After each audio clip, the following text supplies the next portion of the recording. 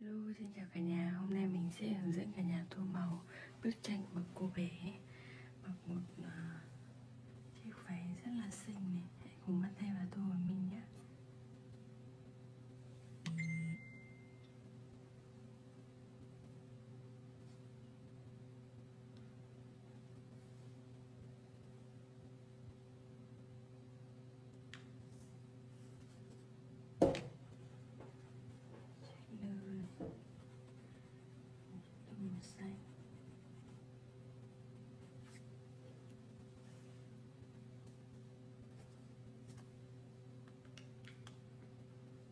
没到没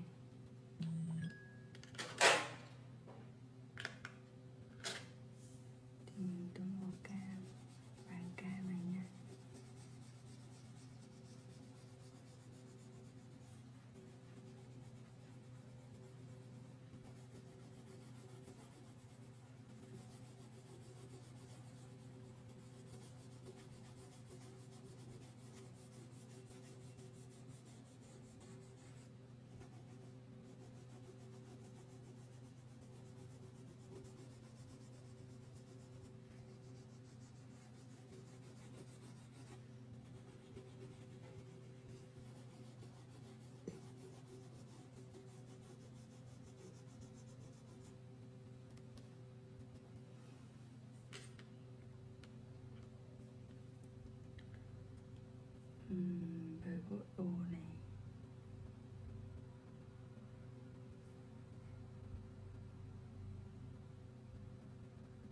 thì mình kết thương màu đỏ nha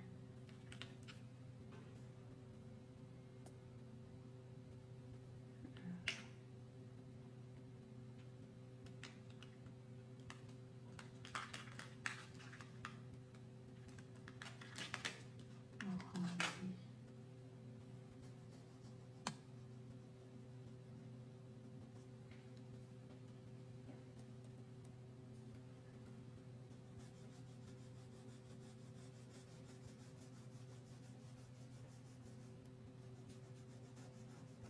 một chiếc váy rất là xinh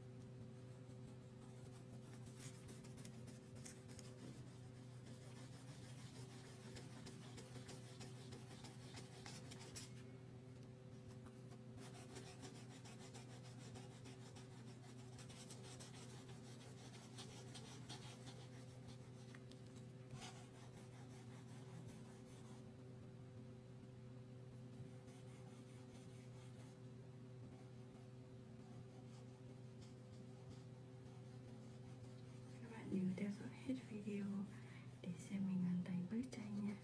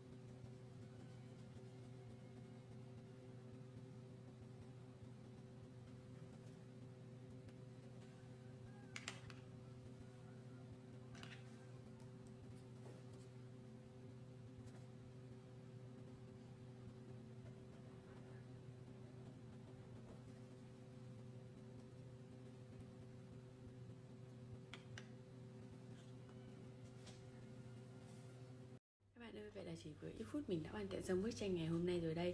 Các bạn có thể thấy trên tay của mình đang là bức tranh ờ, Một cô gái rất là xinh đẹp. Mình Hãy cho mình biết ý kiến của các bạn về bức tranh này nhé. Video của mình xin được kết thúc ở đây. Đừng quên nhấn like và follow kênh ủng hộ cho mình nữa nha. Bye bye, hẹn gặp lại các bạn ở những clip hướng dẫn tô màu số tiếp theo nha.